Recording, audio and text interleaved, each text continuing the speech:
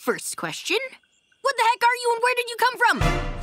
I'm a human being, and I come from another world! world! Either that or this is a dream. Do you know how you got here? Nope. One minute I was in my world, and the next thing I knew I was here. Huh. Come on, follow me. Are you telling me I'm stuck in this crazy place for two months?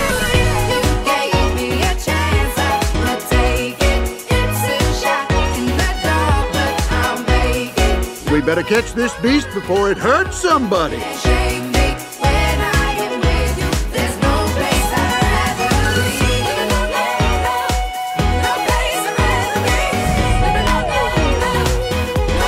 Now we know that you've been lying to us. I'm glad you're living with us, monster. Yeah, me too, weird little frog boy. Okay.